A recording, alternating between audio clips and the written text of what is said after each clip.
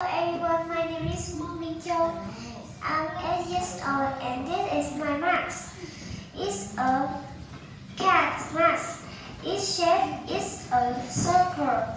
Its color pink, red and yellow. The mask has two eyes, two ears, one nose and one mouth. My mask is very